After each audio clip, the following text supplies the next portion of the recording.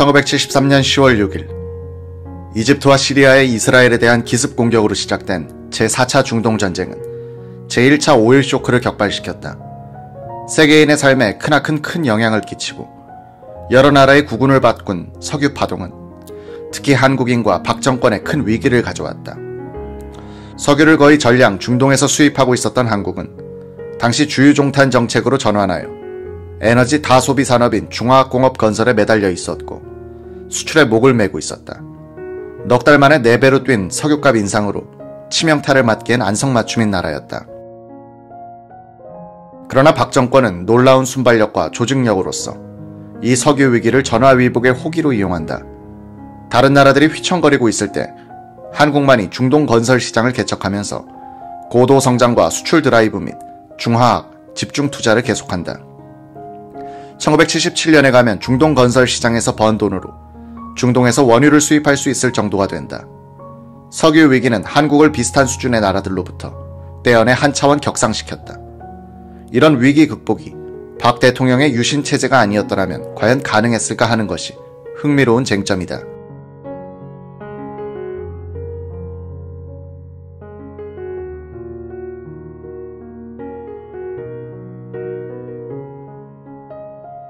중화공업과 방위산업 담당 오원철 경제 이수석 비서관은 업무상 제4차 중동전쟁을 예의주시하고 있었다.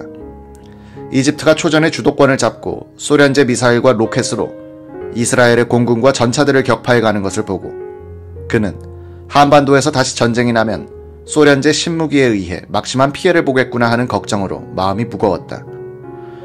미국의 닉슨 행정부는 10월 10일 소련이 이집트와 시리아에 대규모 군사물자를 공수하기 시작했다고 경고하더니 10월 15일 이스라엘에 대한 무기 지원을 결정했다.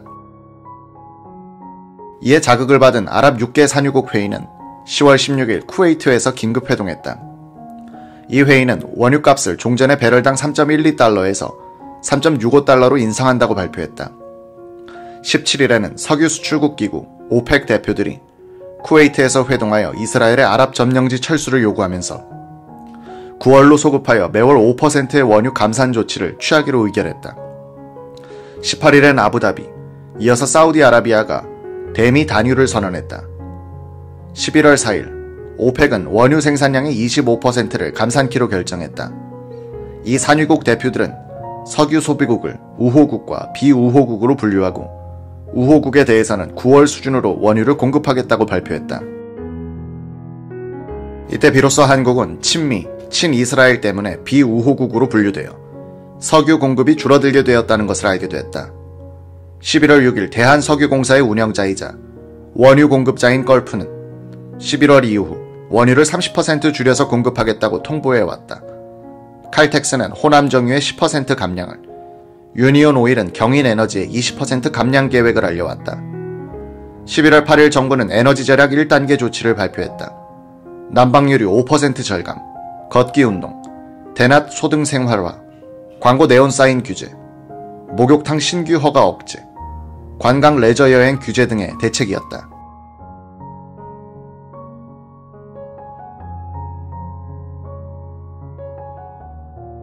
1960년대 초 국제 원유값은 배럴당 2달러 전유였다. 1배럴은 159리터.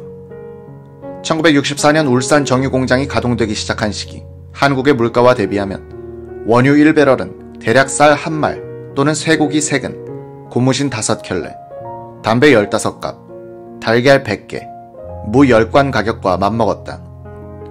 1950년대, 1960년대 리비아, 나이지리아, 북해, 알래스카 등지에서 거대 유전이 잇따라 발견됐다. 원유가 공급 과잉에 빠지면서 20년간 기름값이 안정됐다. 한국으로선 다행인 것이 이 시기에 석유를 주된 동력원으로 하는 근대화를 시작함으로써 값싼 기름의 덕을 크게 보았다는 점이다. 우리가 근대화를 10년 늦게 했으면 막차를 놓쳐 영원히 선진국 진입이 불가능한 나라가 됐을 것이다.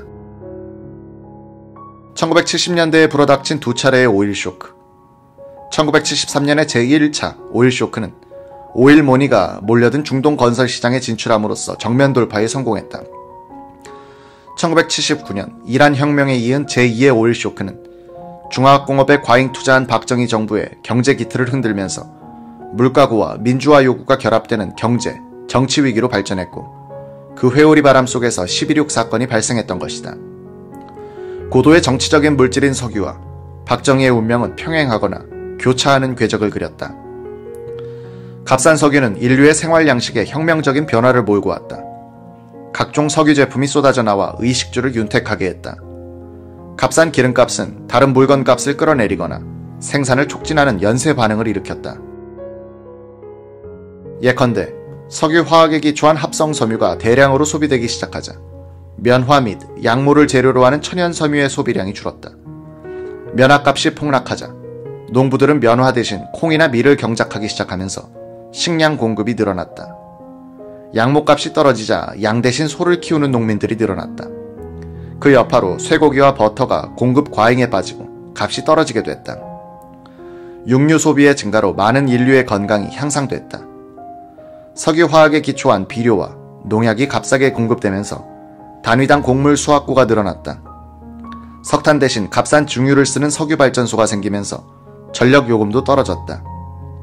값싼 전력과 전기기기가 널리 보급되자 재련 과정에서 전력을 많이 쓰는 알루미늄의 공급이 늘어났다. 알루미늄이 우리 생활 속에서 확산되기 시작했다. 창틀, 건축 자재, 통조림 깡통, 송전선으로 알루미늄이 많이 쓰이면서 구리와 주석이 밀려나기 시작했다. 1950년, 1960년대에 근대화를 시작한 나라들은 이 값싼 기름의 덕을 보았다. 고도 성장에도 불구하고 값싼 기름이 다른 상품값을 연쇄적으로 끌어내렸기 때문에 물가고를 피할 수 있었던 것이다. 이 시대는 또한 중동 산유국과 같은 자원 국가들이 공업국을 위해 희생된 연대이기도 했다.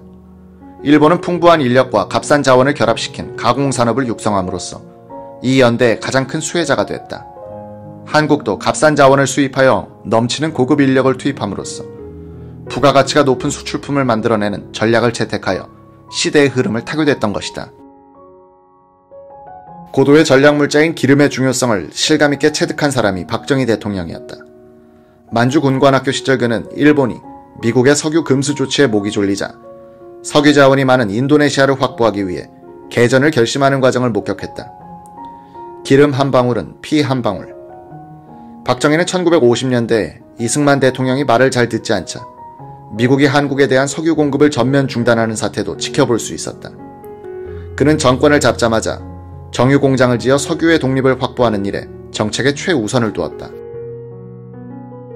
1963년 7월 23일 박정희 의장은 해운대로 향하는 기동차 안에서 기자들과 방담하고 있었다. 전년도에 흉작에 기인한 식량난, 야당의 공세 등 유쾌하지 못한 화제가 계속되는 가운데 대구역에 도착하자 수행원이 대구에서 나온 지방지를 사서 박 의장에게 건네주었다. 일면은 4대 의혹 사건 등 온통 우울한 기사뿐이었다. 사회면을 펴든 박 의장은 이렇게 독백하는 것이었다. 영일 만에 유징이 있다는데 그곳에서 기름이라도 콸콸 쏟아져 나왔으면 그는 독백조로 중얼거리더니 신문을 옆으로 내밀었다. 사회면 머리에는 영일군의 석유풀이란 제목의 기사가 실려 있었다. 박정희의 포항 석유에 대한 기억은 이렇게 시작됐다. 이 첫인상 때문인지 박 대통령은 그 뒤 포항에 석유가 있느냐 없느냐로 민간인과 정부기관이 논쟁을 계속할 때 대체로 민간인들에게 호의적인 태도를 보였다. 포항 석유 매장설이 한 시대의 쟁점으로 떠오르도록 한 것은 한 아마추어의 집념과 언론의 흥분된 보도였다. 10년도 넘게 걸린 이 논쟁에서 민간인, 언론, 정치 권력은 대체로 석유가 있다는 편에 섰고 과학자와 기술 관료들은 없다는 편이었다. 한국의 공업화는 값싼 석유가 문제없이 공급될 것이란 전제하에서 진행됐다. 1960년대 후반 우리는 과감하게 주유종탄 정책을 펴 석탄 대신 석유를 가정용으로까지 확산시키기도 했다. 1971년의 한국 석유 소비량은 5.16 혁명이 난 10년 전에 비해 약 14배에 달했다. 1973년 전체 에너지원에서 석유의 비중은 53.3%에 달했다. 한국의 경제, 사회, 군사 구조는 깊숙이 석유에 몸을 담가놓고 있었다. 1973년 11월 초 김정년 비서실장은 오원철 중화학공업 담당 수석을 불렀다. 실장실에 들어가니 김 실장은 아무 설명도 없이 서재로 같이 갑시다 라고 했다. 영문도 모르고 대통령 집무실에 들어가니 박 대통령은 책상에 앉아 깊은 생각에 잠겨 있었다. 김 실장은 이렇게 보고하는 것이었다. 카카, 석유 구하러 오원철이를 보내야겠습니다. 정유 공장을 건설할 때 맨 처음부터 관여하여 석유 3사의 최고위층과 친분이 많습니다. 오 수석은 목숨이 경각에 달려있는 응급 환자에게 특효약을 당장 구해오라는 식의 이 말에 깜짝 놀랐다. 자신도 모르게 한 발자국 물러나면서 말했다고 한다. 제가 간들 석유 구하는 것은 불가능합니다. 김 실장은 물러나는 오 수석의 팔을 잡아 끌고는 박 대통령 앞으로 나아갔다. 박 대통령은 오원철의 당황하는 모습을 물끄러미 바라보다가 다녀와 내일 떠나도록 해 라고 한마디만 했다. 오 수석의 입에선 예 다녀오겠습니다 란 말이 자동적으로 튀어나왔다. 오 수석은 11월 9일 김광모 비서관만을 데리고 걸프, 칼텍스, 유니온의 본사가 있는 미국으로 떠났다. 박 대통령이 석유 3사의 회장 앞으로 쓴 친서 석장이 유일한 무기였다. 너무나 큰 임무에 짓눌린 오원철은 비행기 안에서도 머리가 아프고 잠이 오지 않았다. 피츠버그의 걸프 본사를 맨 먼저 방문했다. 현관에 태극기를 걸어두고 있었다. 오원철은 가슴 위에 손을 얹고 국기에 대한 경례를 하면서 이 자리에서 승부를 내겠다는 결의를 다졌다. 석유 확보 여부는 경제 전선에서의 승패를 좌우하는 결전이다. 경제 전선에서의 패배는 남북 대치 상황에서 군사적 패배로 연결될 수도 있다.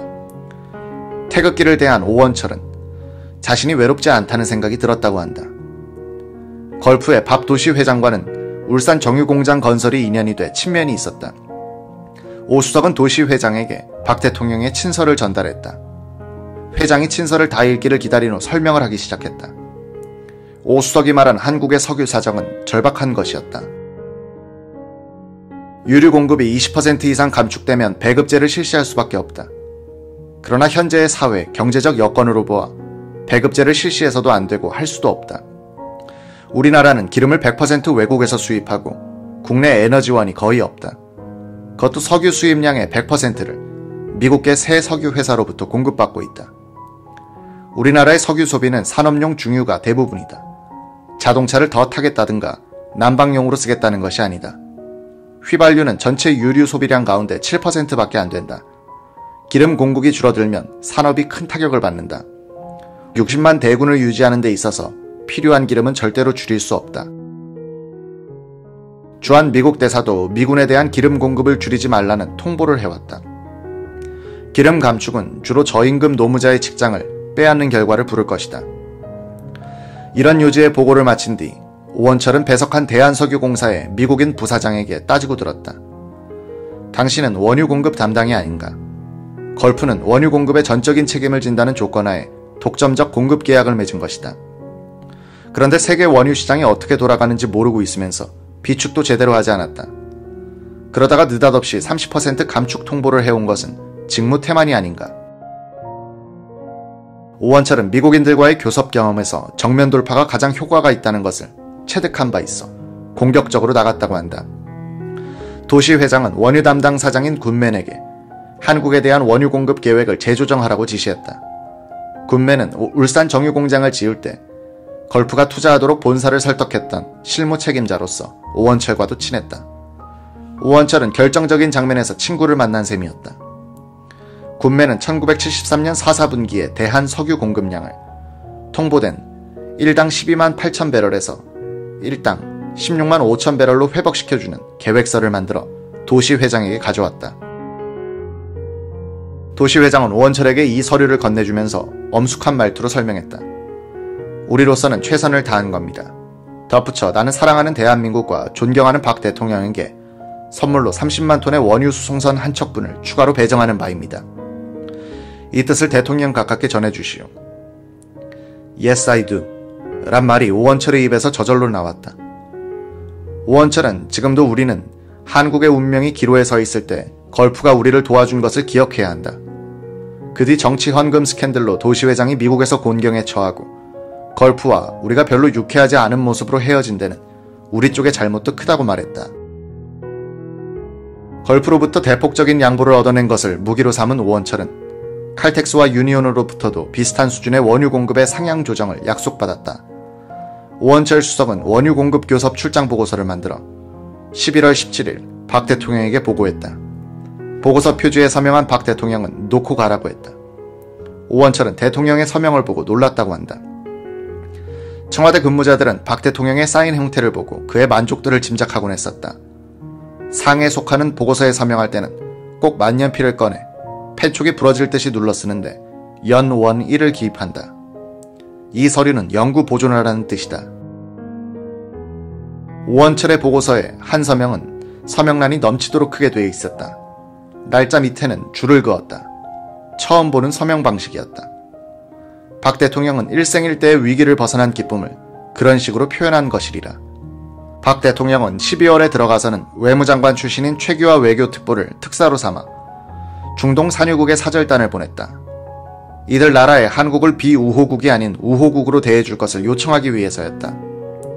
최 특보는 오수석을 여러 번 불러 석유 공부를 하고 갔다. 특사 일행은 최 특보 이외에 김정태 외무부 경제차관부, 최종명 상공부 차관부, 전민재 전 인터내셔널 사장이었다. 최 특사는 12월 15일 사우디에 도착하자마자 이스라엘의 점령지 철수 등 친아랍 정책을 발표했다. 그러자 사우디 정부는 파이잘 국왕과의 면담 일정을 잡아주었다. 꼼꼼한 최규하 특사는 저녁에 수행원 전원을 모아놓고 파이잘 국왕에게 설명할 내용을 새벽 2시까지 되풀이 연습했다. 다음날 파이잘 국왕에게 최 특사는 연습한 그대로 자세히 긴 설명을 했다. 왕은 참을 썰있게 다 들어주었다.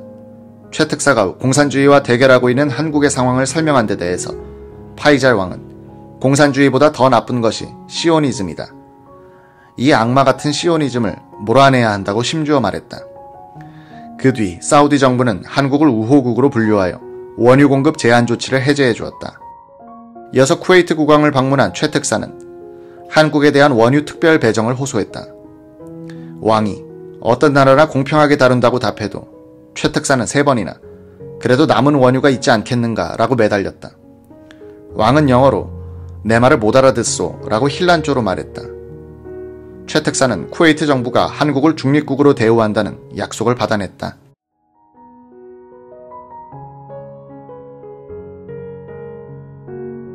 (1973년 12월) 최규하 특사의 중동 방문 사절단에 민간인 전민재 씨가 참여한 배경은 이렇다. SK의 전신인 선경의 설립자 최종권, 최종현 형제는 1972년에 일산 15만 배럴 규모의 제사 정유공장 인가를 받아놓고 원유 공급선을 사우디아라비아에서 구하기 위하여 뛰고 있었다. 정유공장 사업에 공동으로 참여키로 한 일본의 종합상사 이토추의 전설적 인물인 세지마 류조 부사장이 대사우디 공작을 지휘했다. 선경이 한국 측 실무 책임자로 초빙한 사람은 정유산업의 생리에 밝은 전민재 대표였다. 그를 보자 하면서 중동 출장을 많이 다닌 젊은 대리가 김창호였다. 석유 파동이 일어나기 전인 1973년 8월 성경의 최종현 사장과 최종명 상공부 차관보를 중심으로 한 민관 사절단이 사우디를 방문했다. 이때 선경과 이토추가 잡은 인맥이 대단했다. 중동 관련 정보망이 좋았던 이토추는 파이잘 국왕의 오른팔이자 정보기관장인 K씨를 겨냥했다. K씨는 왕비의 친동생이기도 했다. K씨는 협상에 나오지 않고 베드라위라는 조카를 내세웠다.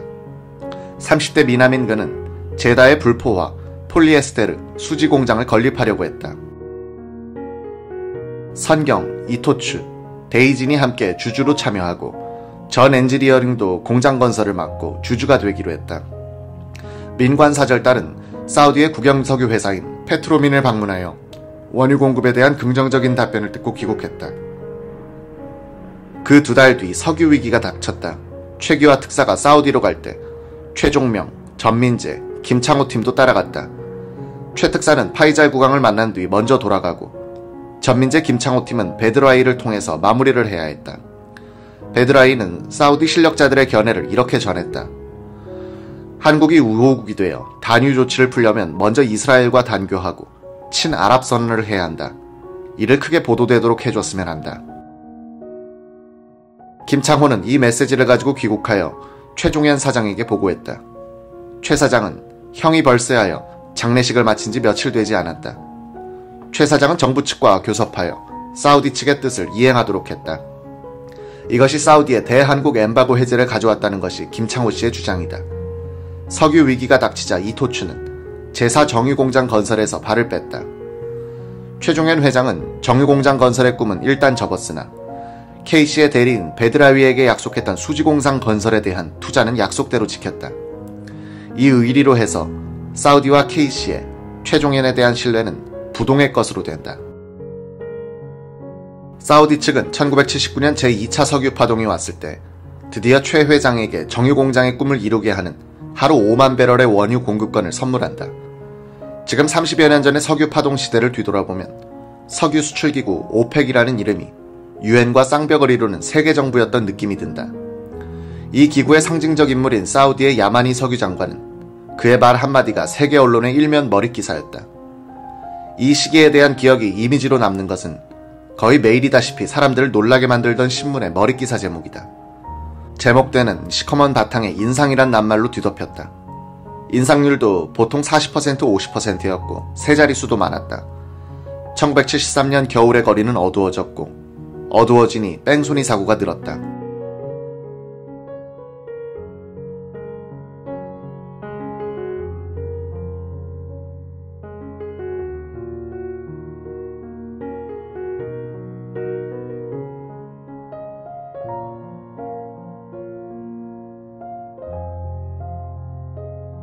세상이 바뀌고 있었다.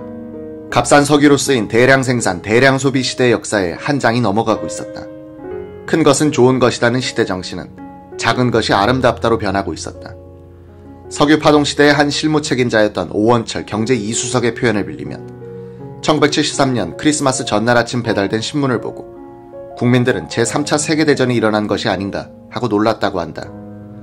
석유 수출기구가 10월 16일에 배럴당 5.119달러로 약 70% 올렸던 원유값을 1974년 1월 1일을 기하여 배럴당 11.651달러로 다시 약 100% 인상한다고 발표했기 때문이다. 1973년 1월 1일 원유값이 배럴당 2.591달러였으니 1년 사이 4배로 뛴 것이다. 이에 따라 한국의 연간 원유 수입액은 1973년에 3억 519만 달러에서 1974년에는 11억 78만 달러로 3.5배 늘었다. 세계가 원유값의 급등으로 몸살을 앓는데 모든 분야에서 석유 파동에 가장 취약하게 노출됐던 한국은 급사할 지경이었다. 원유값의 폭등은 기름과 기름에서 나온 수많은 석유 제품을 쓰는 산업뿐 아니라 농산물, 설탕, 조미료, 대중 목욕비 등 간접 부문을 포함하여 전 사회의 모든 분야에 원가 상승 압력을 가했다. 그 결과로 1974년의 도매 물가는 전년도 대비 44.6%가 늘었다. 이는 6.25 전쟁 후 최대치였다. 수입 물품값도 한 해 동안 31.2%가 올랐다.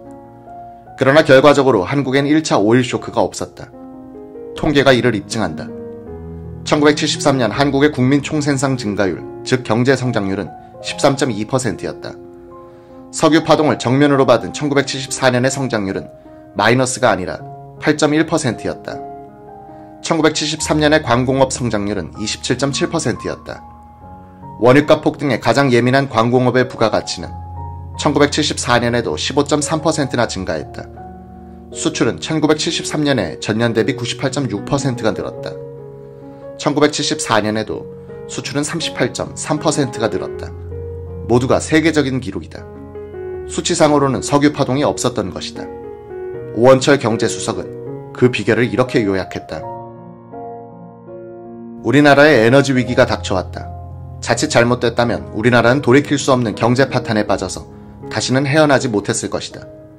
그러나 우리나라는 정부와 국민이 합심해서 이 시련을 극복하고 기적적인 발전을 했다.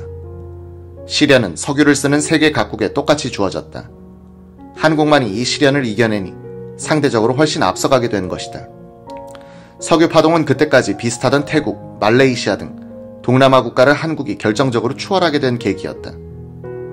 1974년에 국민 총생산 GDP 실질 증가율을 보면 일본은 마이너스 2%, 미국은 마이너스 0.6%, 영국 마이너스 1.8%, 프랑스 3%였는데 한국만은 7.1%였다. 1975년에도 한국의 성장률이 주요 산업국들 중에선 최고였다. 정부와 국민을 합심시켜 석유 파동을 극복하여 전화 위복으로 만든 박정희 정부의 리더십은 그래서 영원한 연구 대상이다. 김종필 당시 총리에 따르면 박 대통령은 석유 자원이 몇십 년치밖에 남지 않았다는 식의 비관론을 믿지 않았으며 석유 위기도 일시적일 것이라고 확신하고는 중화학공업 건설 전략을 수정하지 않고 밀고 나갔다는 것이다. 1973년 10월부터 시작된 석유 파동은 한국의 석유 부족, 물가 폭등, 국제수지 악화라는 3중고를 동시에 물고 왔다. 석유 부족은 1974년에 들어서면 석유 수출기구가 원유 증산을 결의하여 해소됐다. 정부는 전반기엔 석유 사용 10% 절감, 국내 석유값 30% 인상, 긴급조치 3호로 대응했다. 후반기엔 국내 석유가 82% 인상, 두 달 뒤 다시 22.3% 인상, 그리고 환율 21% 인상, 국내 석유값 31.3% 인상으로 대처했다. 석유 사용 10% 절감책은 국영기업체와 관공서의 전구 중 3분의 1 빼기, 다방, 음식점, 목욕탕의 영업시간 단축, 공휴일 자가용 운행 규제, 텔레비전 방영시간 하루 4시간 단축 시기였다. 여러 부문에서 조금씩 노력하면 이 절약분이 쌓여서 10% 절감을 가능케 한다는 것이 입증됐다. 절약할 게 생활 속에 의외로 많다는 것을 깨우쳐 준 것이 석유 파동이었다. 석유값이 오르니 석탄과 연탄의 가격 경쟁력이 살아났다. 석탄 소비량이 급증하자 사양길에 들어섰던 탄광이 다시 활기를 띠었다. 저질탄도 써야 했으니 부산에선 주부들이 자주 꺼지는 연탄을 내던지면서 시위를 했다.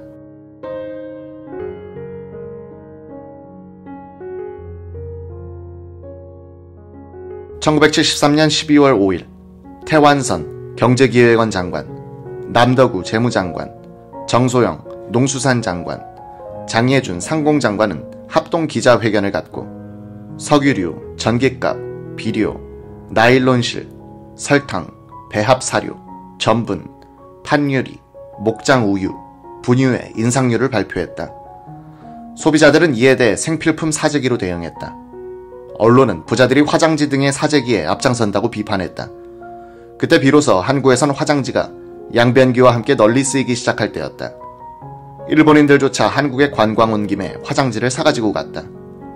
박 대통령은 유신 선포 직후인 1972년 11월 30일 1980년대를 향한 비전을 수치로 요약하여 발표했었다. 1981년에 가면 국민소득이 1인당 1000달러, 수출이 100억 달러가 될 것이라고 약속했다. 1969년 박 대통령은 김종필을 청와대로 불러 대통령 3선 개헌안에 지지해 줄 것을 설득하면서 이렇게 말했다. 임자도 잘 알다시피 우리는 한강을 건너올 때 이미 조국 근대와의 목숨을 걸지 않았나. 1960년대에 겨우 먹는 문제를 해결했는데 1970년대엔 공업화를 해야 돼. 함께 죽자고 혁명을 해놓고 이제 와서 혼자 살겠다는 거야. 이처럼 박 대통령의 전략은 간명했다. 1960년대는 식량 문제 해결, 1970년대는 중화학공업 건설. 박 대통령은 중화학공업 건설을 선언한 1973년의 연두기자회견 직후 올해 물가 인상은 3% 이내로 억제하라고 지시했었다. 석유 파동은 한국을 경공업 국가에서 탈피시켜 세계적인 공업대국으로 만들겠다는 박 대통령의 신념과 진념에 대한 도전이었다. 1973년 11월 중순 박 대통령은 보유 외환이 바닥나고 있다는 보고를 접하자 태완선 경제기획원 장관에게 종합대책을 마련하여 보고하도록 지시했다. 12월 중순 그 보고회가 열렸다. 박 대통령은 실망한 표정을 지었다. 태 부총리 수고했습니다. 워낙 중요한 사안이니 청와대에서 다시 검토하여 결론을 내도록 합시다. 박 대통령은 집무실로 돌아와서 김용환 경제1 수석 비서관을 불렀다. 경제기획원에 한 달 동안이나 시간을 줘서 대책을 마련하라고 했는데 도대체 무슨 소린지 모르겠어. 그렇게 미지근하게 대응해가지고는 이 난국을 극복하기 어려울 것 같아. 임자가 한번 다시 만들어봐. 김용환 수석은 새해 1월 10일을 목표로 정하고 비밀 돌관 작업에 들어갔다. 그 1년 전 834채 동결 조치안을 비밀리에 만들었던 김 수석은 그때 팀을 다시 모았다. 여기에다가 고병우, 하동선, 송병순, 이상희 씨를 합류시키고 북악파크 호텔에서 실무 작업에 들어갔다. 김수석은 1974년 1월 10일에 완성된 계획서를 12일에 박 대통령에게 보고하여 제가 받았다. 문서 제목은 대통령 긴급조치 제3호와 이에 관련 사항에 관한 보고였다. 김 수석은 긴급 조치의 목적을 이렇게 설정했다. 석유 파동으로 야기된 악성 인플레이션을 완화하기 위하여 정부, 기업, 소비자의 공동 노력을 조직화하고 저소득층의 부담 경감과 국민 생활의 안정을 도모하는 한편 강력한 소비 절약을 유도하여 석유 파동의 충격을 극복하려는 것이다.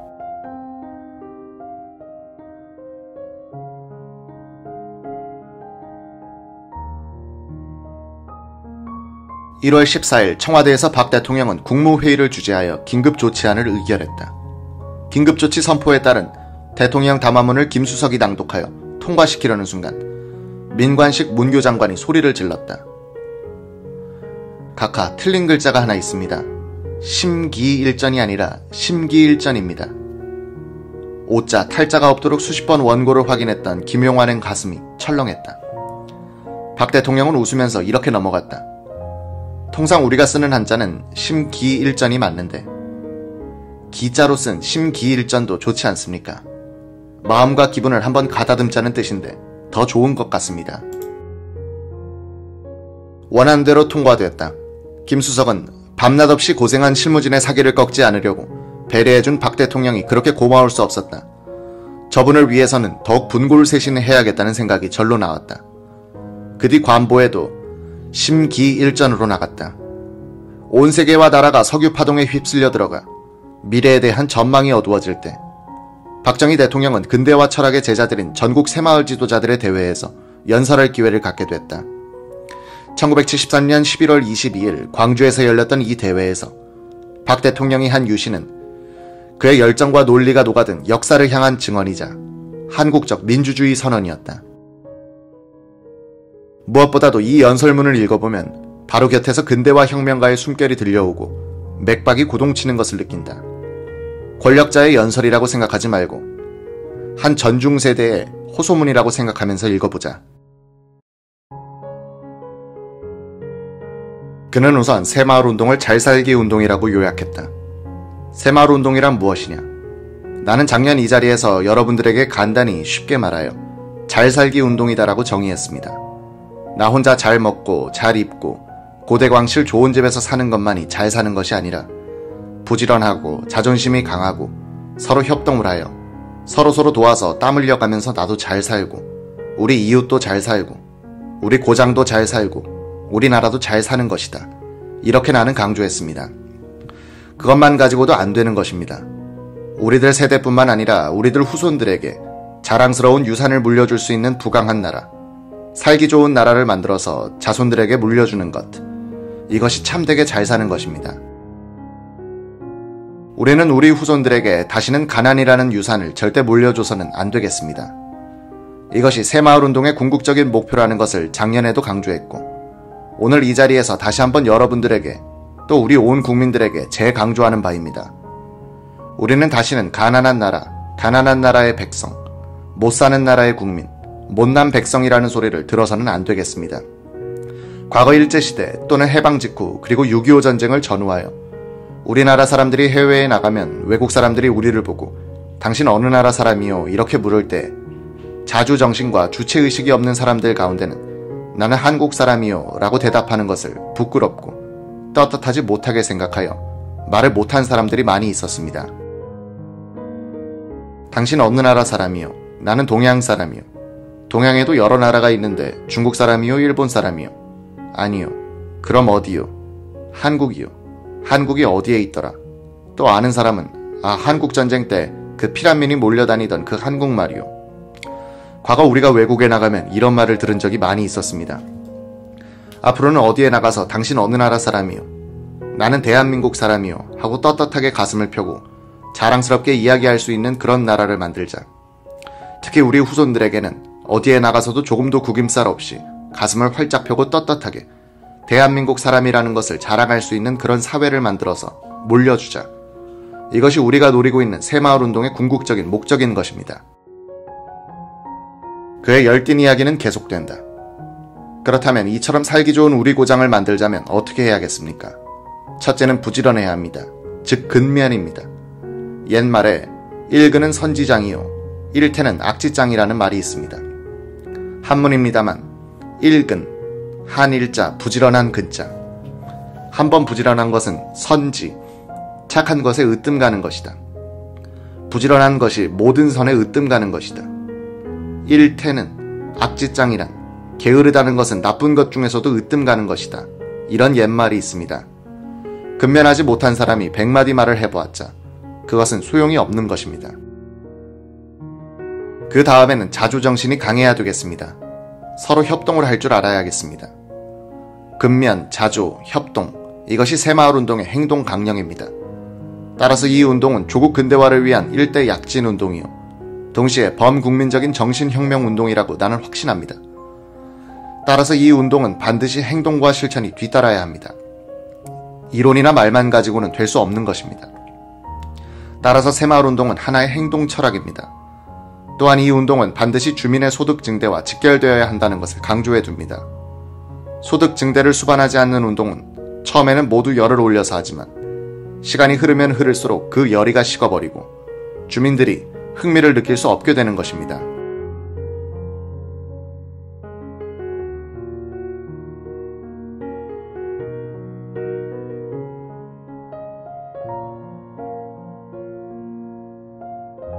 박 대통령이 도덕성과 정신력을 강조하는 것은 반드시 행동을 유발하기 위한 동기부여의 목적이지 말장난에 머물기 위한 것이 아니다.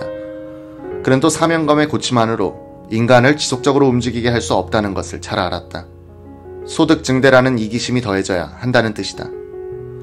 박 대통령은 이타심과 이기심이란 두 심리적 동기를 통합하여 국민들에게 호소했기 때문에 설득력이 강했다.